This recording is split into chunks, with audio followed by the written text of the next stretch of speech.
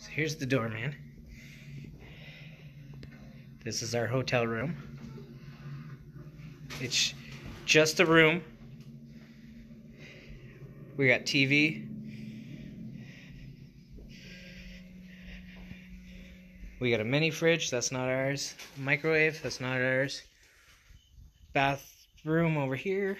Shower. So yeah, bathroom's small as fuck. But, I mean, at least we have something now. what you think of my shirt, man?